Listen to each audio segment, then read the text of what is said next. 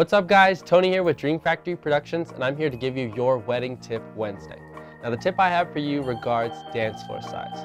Now it's very important to sometimes think about whether you want a big dance floor or a small dance floor. In my opinion, I think it's better to have a small dance floor. Now what this does is it allows your guests to think that the dance floor is packed when there's not as many guests on the dance floor versus a big dance floor and there's a good amount of people on there and it doesn't look as packed. So for what I would suggest is to make sure your dance floor is a little smaller than the average size. This is Tony with Dream Factory Productions. Be sure to have a great week and we'll see you next Wednesday.